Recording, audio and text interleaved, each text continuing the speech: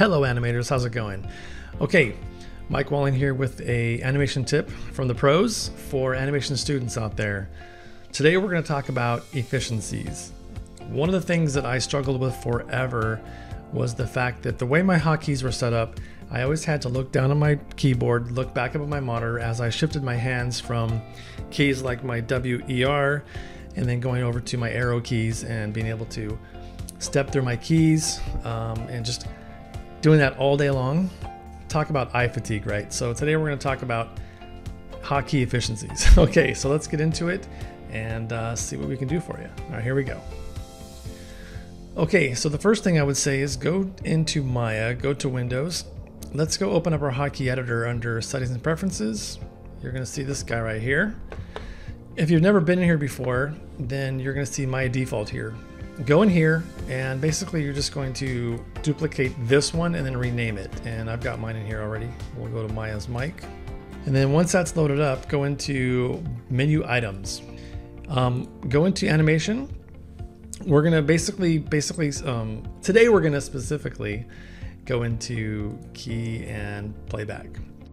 So you'll see here that for setting keys, I've got my Alt S set. All right, so it's pretty basic. And the way I do that is I basically rest my thumb on my Alt key at all times. And then I have my three fingers basically across ASD, okay? So I'll explain this in a minute, but let's go through the hotkeys real quick and then we'll talk about it. So Alt S for set keys, and then let's close that up. And then we'll go to playback. This is the big one right here, okay? So I have my toggle set to play on S. So I can hit S, it plays to my timeline. I hit S again, it stops, okay? Then down here, I've got next key, previous key, next frame, and previous frame. These are big ones right here. So you'll see I've got D and A set for my next key and previous key, and then Alt D and Alt A for my next frame, previous frame. So imagine that you have that, that uh, pointer finger on your D key, and then your ring finger on your A key, okay? And then by either just pressing D and A, you can go back and forth on your next keys. And then by holding down the Alt key with your thumb, you can go through next frame, previous frame. And then of course, your middle finger's on S. And if I do Alt S, I, I set a key. And if I hit S, I just play my animation back.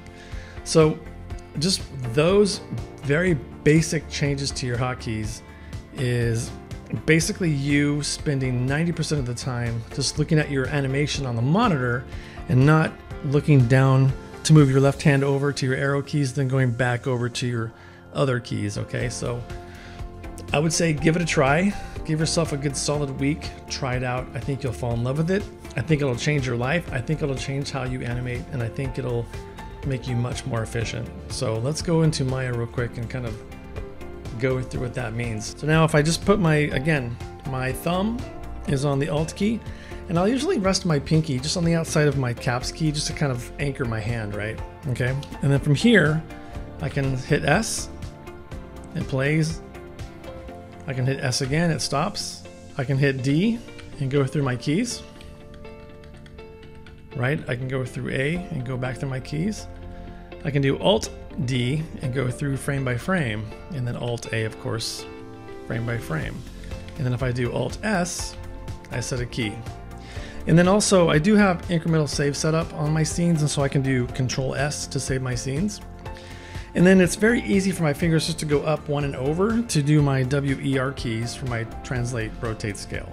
All right, so very simple setup, not too much work on your hotkeys, um, but a big difference in my opinion. Okay, so Again, try it out, give yourself just a solid week, and I, and I promise you it'll change the way you animate, it'll make you more efficient. Remember, work smarter, not harder. All right, this is Mike Walling with the animation tip, and I hope you have a great day. Happy animating.